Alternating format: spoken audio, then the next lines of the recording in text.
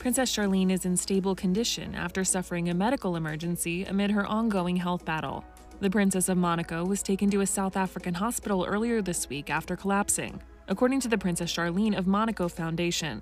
The foundation told multiple outlets in a statement Her Serene Highness Princess Charlene of Monaco was rushed to hospital by ambulance late Wednesday night after collapsing due to complications from the severe ear, nose, and throat infection she contracted in May.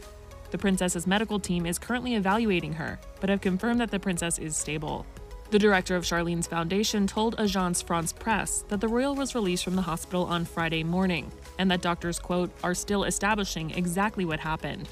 Access Hollywood has reached out to the foundation for comment. Charlene's hospitalization comes as she continues her months long battle against complications from the infection, which she developed after a sinus procedure, and left her unable to return to her home in Monaco.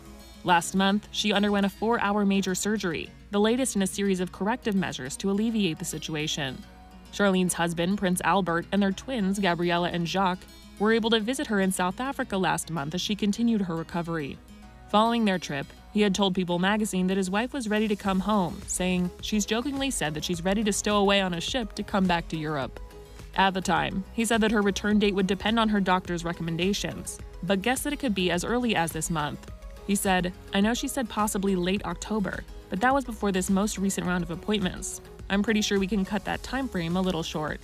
Charlene has spoken out about the difficulties she's faced amid her health journey. She told South Africa's News 24 in July, It's been a trying time for me. I miss my husband and children dearly. What has been extremely difficult for me was when I was instructed by my medical team that I could not return home for my 10th wedding anniversary.